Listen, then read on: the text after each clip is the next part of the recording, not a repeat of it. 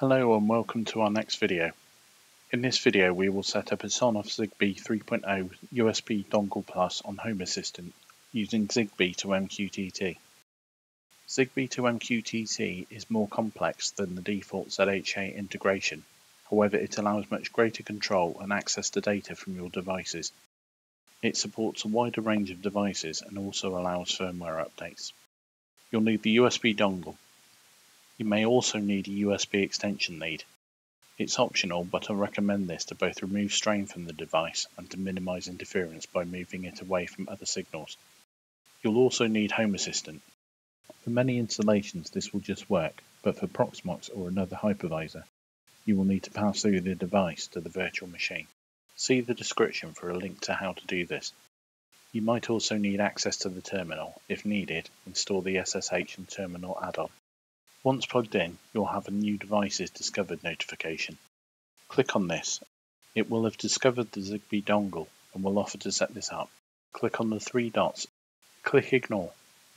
It will ask you to confirm. Click Ignore again. We need to set up an MQTT broker before installing ZigBee to MQTT. To do this, click on Settings, then Add-ons. Click on Add-on Store. Click the Mosquitto Broker. Click Install.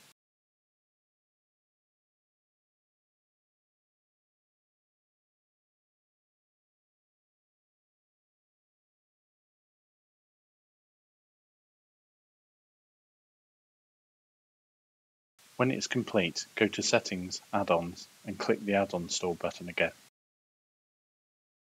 Click the three dots at the top right and select Repository. In the Add section, enter the URL shown on the screen. Click Add. Click Close. Click the ZigBee to MQTT add-on. Click Install.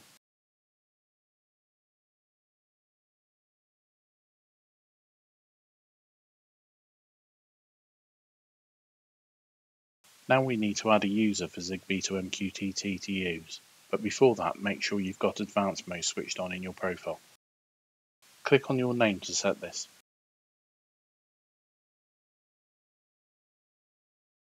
Go to Settings. Click People. Click Users. Click Add User. Add details. I used MQTT user, MQTT underscore user for the username. Type the password twice.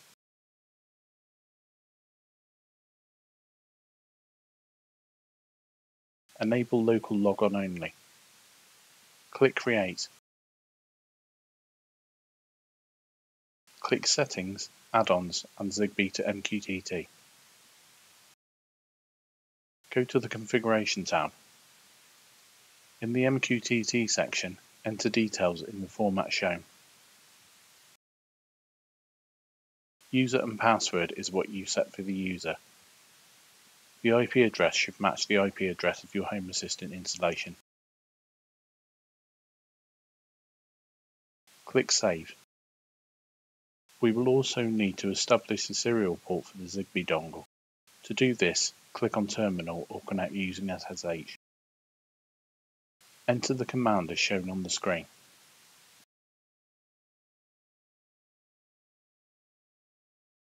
This will check the message log for anything containing TTY.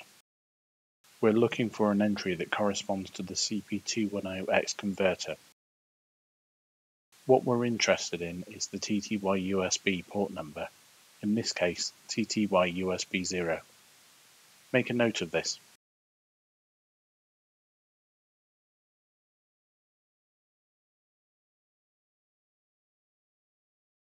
Go to Settings, Add-ons, and ZigBee to MQTT. Go to the Configuration tab. In the Serial section, enter port colon slash dev slash TTY USB followed by the number noted. Click Save. Click Settings, Add-ons and Mosquitto Broker. Enable the watchdog and click Start.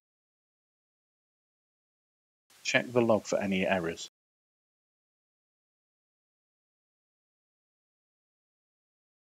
Click Settings, Devices and Services.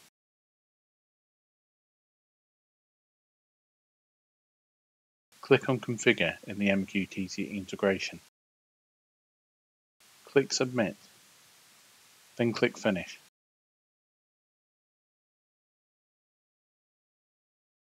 Click Settings, then Add-ons. Click Zigbee to MQTT. Enable the watchdog and show in sidebar.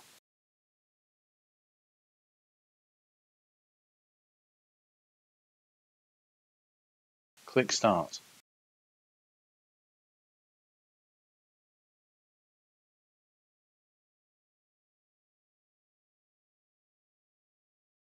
After a few seconds, check the log. You are looking for Connected to MQTT Server. Click Refresh if it isn't shown yet.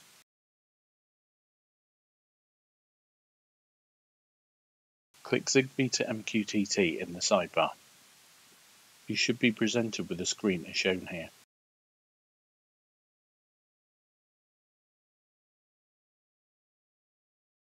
Click Permit Join. This will start the search for devices. Put a device in pairing mode. This is normally achieved by pressing a button for a few seconds or poking a hole. After a few seconds the device will be found. Ignore the error here I'd already configured these devices. First, a temperature sensor.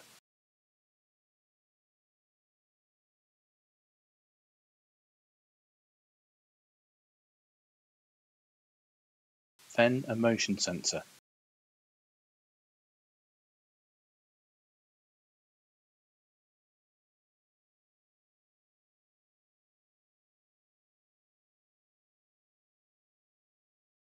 Finally, a door sensor.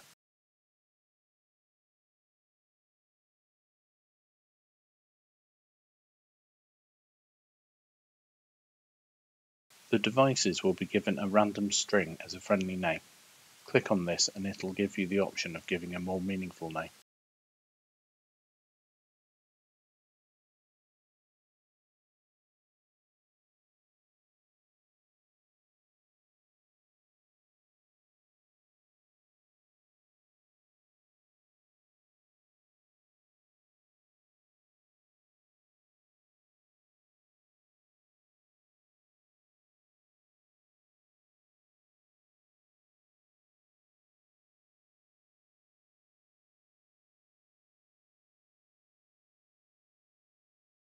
Once done, we'll create a dashboard to display the devices.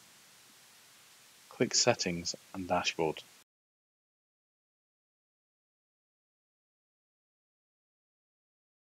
Click Add Dashboard. Give it a name and pick an icon.